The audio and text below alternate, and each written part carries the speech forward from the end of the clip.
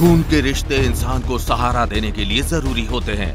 लेकिन ऐसा कौन सा खून का रिश्ता परेशान कर रहा है शनाया और आहान को? कौन आया आहान और शनाया के कार के सामने? क्या कोई नया हंगामा होने वाला है अब? शनाया ने कुछ सोचा और मन ही मन में बोली, क्या हान जानता है कि वो कितने अच्छे से फ्लर्ट कर लेता है? ओ गॉड शनाया ने अपना मन पक्का कर लिया। उसने फिर कार ड्राइव कर रहे आहान से सवाल करते हुए कहा तो फिर क्यों ना हम दोनों मगर इससे पहले कि शनाया अपनी बात पूरी कर पाती, एक ज़ोर की आवाज़ आई। आहान ने तुरंत कार का ब्रेक लगा दिया। एकदम से कार को रोकने की वजह से ज़ोर की आवाज़ गूंजी। शनाया ने आँखें खोली तो देखा कि एक मिडिल एज्ड औरत सड़क पर गिरी हुई थी। वो तो अच्छा था आहान का ध्यान रास्ते पर ही था, वरना शायद इस औरत को लग जाता। शनाया क्या आप ठीक हैं? शनाया बहुत घबराई हुई थी, मगर जब उसने आहान के हाथ को अपने सामने पाया तो वो बेफिक्र हो गई। उसने आहान से कहा, मैं ठीक हूँ, लेकिन ये सामने कौन है? क्या उन्हें हमारी वजह से कोई चोट आई हुई है? शनाया ने शॉक्ड होकर ज़ोर से कहा, सीमा बुआ? शनाया को अपनी आँखों पर यकीन ही नहीं हो रहा था। सीमा बुआ जी का नाम सुनकर उनकी आँखें भी शार्प हो गई। आहान को सीमा बुआ जी खास पसंद नहीं थी, क्योंकि उनकी उसी हरकत की वजह से शनाया बहुत परेशान हो गई थी।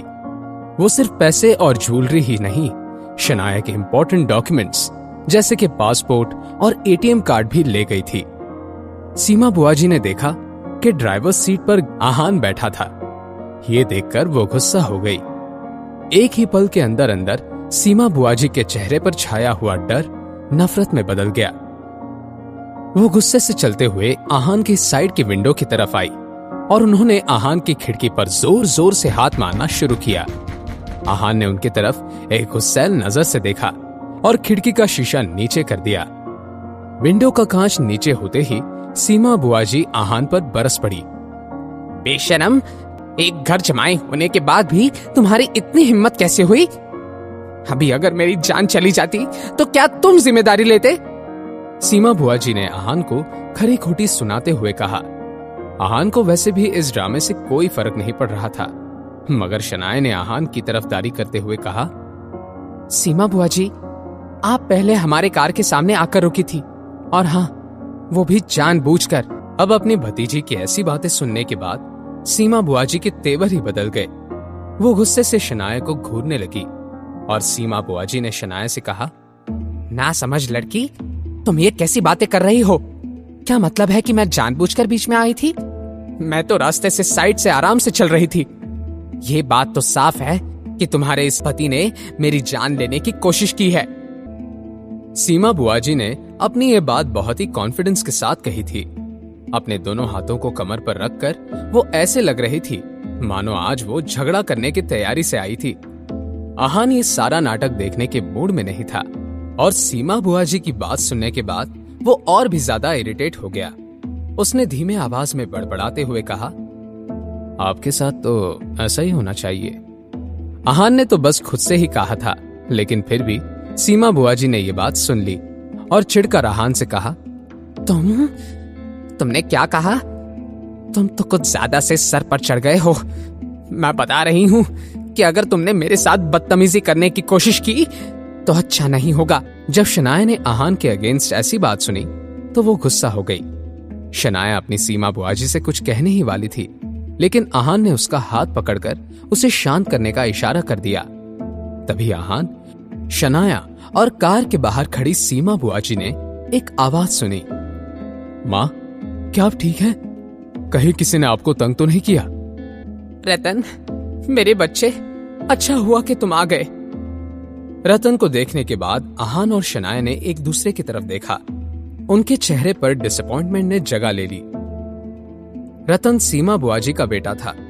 इस लड़के की उम्र तीस पार कर चुकी थी, मगर फिर भी न ये कुछ कमाता था और न ही इसके पास कोई जॉब था। रतन की इमेज कुछ खास नहीं थी। वो दिन भर अपने कुछ निठल्ले दोस्तों के साथ किसी न किसी को फंसाकर उनसे ज़बरदस्ती पैसे ले लेता। और वापस करने का नाम भी नहीं लेता था। इस वक्त रतन के हाथ में एक लोहे का रॉड था। अपने दूसरे हाथ पर उस रॉड को मारते हुए रतन ने आहान को घूर कर देखा और अपनी माँ से सवाल करते हुए कहा, क्या ये शेखर मामा जी और यामिनी मामी का घर जमाई है? हाँ रतन। पता है, तुम्हारे आने से पहले इस आहान के बच्चे ने तो कह रहा था कि मैंने ये सब जानबूझकर किया था। वो तो अच्छा हुआ कि तुम आ गए। वरना मुझे डर है कि ये लड़का तो आज मेरी जान ही ले लेता। तुम्हारे किस हाथ ने मेरे माँ को चोट पहुँचाने की कोशिश की है? आहन को रतन के इस खतरनाक अंदाज से कोई फ़र्क नहीं पड़ता था लेकिन शनाया ने रतन को जवाब देते हुए कहा रतन आहान ने सीमा बुआ जी को कोई चोट नहीं पहुंचाई है और इसमें हमारी नहीं सीमा बुआ जी की गलती है।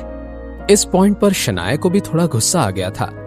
लेकिन रतन को शनाया के गुस्से से क्या डर लग सकता था? उसने शनाया का मुँह बंद करते हुए कहा, तुम अपना मुँह बंद करो। तुमने किसे धोखेबाज कहा? आहान के सवाल के जवाब में सीमा बुआ जी ने कहा, क्या मेरे बेटे रतन ने कुछ गलत कहा है? यह लड़की धोखेबाज नहीं है तो और क्या है? उसने अपने बुआ जी और भाई का साथ देने की बजाय तुम्हारे जैसे कचरे के डब्बे का साथ देना सही समझा। हम दोनों उसके खून के रिश्तेदार। हमारे सामने तुम जैसे दो कौड़ी के इंसान को चुना शनाया ने। वो पति है मेरा। अपना मुँह संभाल कर बात कीजिए। और आप मेरे रिश्तेदार कब से हो गए? खून के रिश्ते से अगर दुनिया चलने लगती तो आप जैसे लोगों को अपने ही परिवार में चोरी करने की ज़रूरत ना पड़ती। क्या शनाया के इस ताने से ये बहस बिगड़ने वाली थी? सीमा बुआ जी, अब आगे क्या करने वाली हैं? आहान इस सबसे शनाया को कैसे बाहर निकालेगा? क्या होगा रतन और आहान के बीच झगड़ा? जानने के लिए देखिए अगला एपिसोड सिर्फ़ पॉकेट एफएम के यूट्यूब चैनल पर। और सीक्रेट अमीर ज़्यादा के सारे एपिसोड्स को सुनने के लिए डिस्क्रिप्शन में दी हुई लिंक से डाउनलोड कीजिए पॉकेट एफएम ऐप।